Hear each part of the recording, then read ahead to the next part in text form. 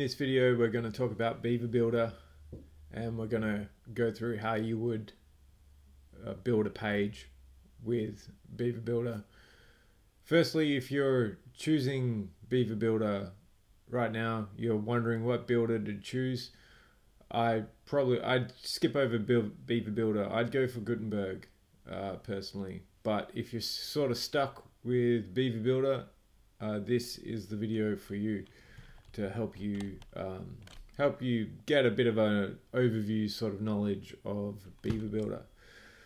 So firstly, a bit of uh, housekeeping here. So in the plugins, I've got Gutenberg, disable Gutenberg activated. So that's going to disable Gutenberg for us. And then I've got the, the Beaver Builder plugin, uh, Lite plugin activated. Uh, so with the Lite plugin, I don't have things like save module, save template, you know, all that really cool stuff that you can kind of save components out and reuse them on other pages uh, and save templates and drop that into a, to a page. Uh, so we don't have those features. We'll, we'll, we'll dance over them a little bit uh, to give you a flavor for for it, but I, I am stuck with the Lite version here. Let's create a new page. And we can call this anything. And we'll go Beaver Builder. So we go to the Beaver Builder tab and that automatically has launched Beaver Builder now. So we're in Beaver Builder and Beaver Builder is a layer on top of WordPress, a layer of, of abstraction. To get out of Beaver Builder, we go into WordPress admin here and we can go into the current page or we can go to the dashboard. So I'll just go edit page to break back out of Beaver Builder. So now I'm back in WordPress with the default tiny MCE editor. Launching Beaver Builder again.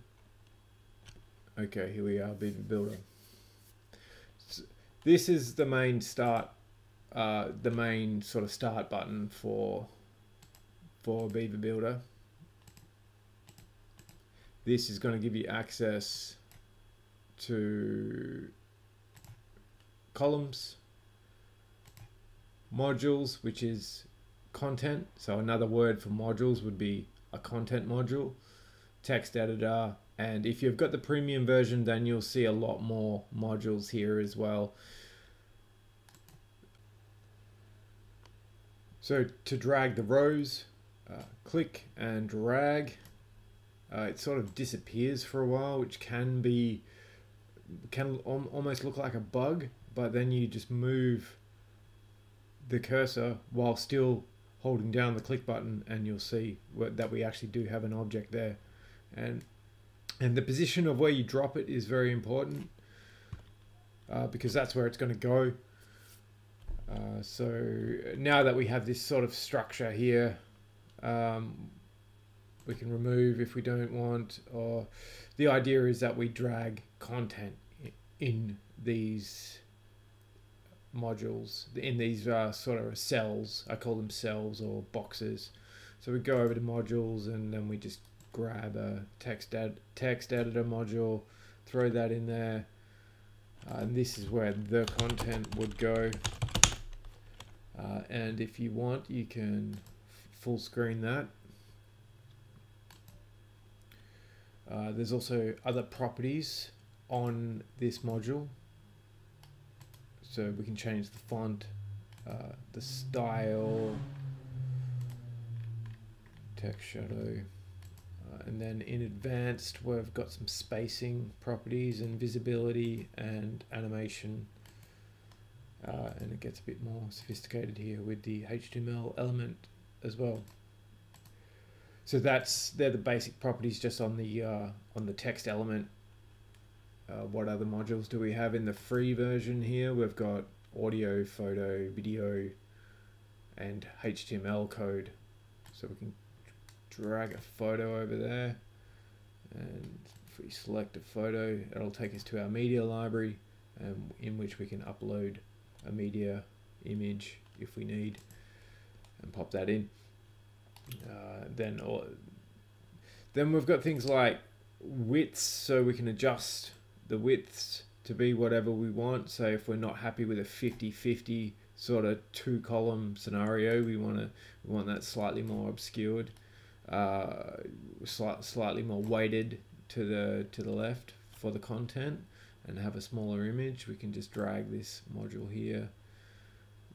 Uh, what I when I'm looking at this, what the first thing I see is wow, we're really cramped in here. Why can't we just make this uh, bounding area larger?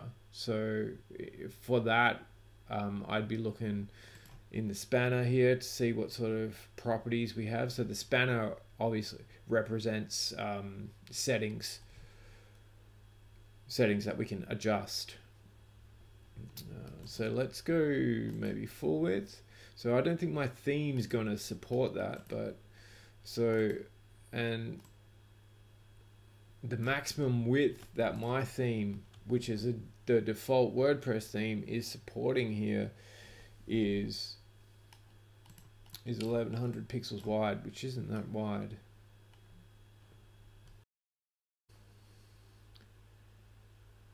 This era is, I mean, this restricted width here that we're experiencing is a direct result of my theme that I'm using.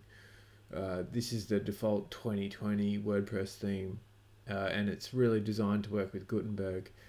Uh, and what I'm seeing here is I'm seeing entry content, which is this div here, uh, and any and the direct child of the um, entry content div, which is this one here, is going to be set to uh, 58 REM, which is what's causing me this. If I turn that off, then I'd get uh, I'd get the expected 1100 max width. There we are. So that's what's happening there. So for the point of this demonstration, we'll just continue on launching Beaver Builder again.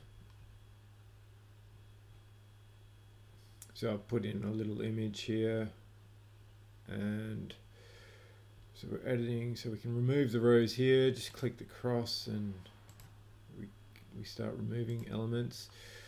We can also uh, duplicate elements here. So just by clicking this icon here we can duplicate. Oop, that duplicated the inner element there. Now I will remove it. Uh, let's click the content to bring up the content properties. And you'll notice this button here, this little monitor icon actually represents uh, responsive editing. So we can access uh, tablet and mobile views from from uh, clicking this little icon here, which is cool. when you first load up Beaver Builder, I've noticed a lot of people are a bit confused. They roll over one element and they get this box pop up and it's blue, and then you roll over another element and you get another blue box pop up and the other one turns grey, and they're like, well, what does that mean? Because uh, that's kind of confusing. Uh, and I've realized that the colors colors can be described like this. So blue is the hover color. So when you're hovering over something, it'll be blue. And the gray colors represent the parent of the object that you're hovering over. So that's all the colors mean. Also, one of the gotchas that I experienced with Beaver Builder was uh, setting background colors. Um, so and it was because I found this icon here to be I don't know I just couldn't wouldn't expect to see edit columns there's column settings in here uh, so and this icon just does not say that to me I'd expect it to be a a wheel or something, you know, this the cog wheel or something like that. But anyway, in, you've got column settings in here, which are, are pretty. Here's we can adjust more widths. Uh, if we go down further, we can set the color of text. We can also set background colors. I'm not even going to go into the gradient. Uh, I don't know why. So color, color. So I should have a color property here. Okay, there it is. There. It's kind of just a bit kind of confusing. Um, the interface is not what I'd enjoy interacting with on a daily basis. Uh, but the, yeah, some really important settings sort of hidden away in uh, this icon here. So I mentioned before one of the best features of Beaver Builder is actually with the premium version of Beaver Builder. And say for instance if we were to want to save this module here uh, to be reused uh, on another page there would there in the premium version there is a save as button here which uh, which allows you to save this as a reusable module. So that way you don't have to rebuild it uh, every time you want to add it to a new page. So that's a really handy feature and you'll be able to add it to your page from a section in here. Uh, templates or modules there'll be something something down here called save modules which you can access quite easily and add to the page. So, I mean, if you are going to go down the Beaver Builder road, I I definitely recommend getting the premium version for the for the ability to save whole page templates and for the saved modules as well. Also, just wanted to add in uh, with Gutenberg, you can save reusable blocks uh, natively. Uh, there, there's no premium version of Gutenberg. It's it pretty much built into WordPress.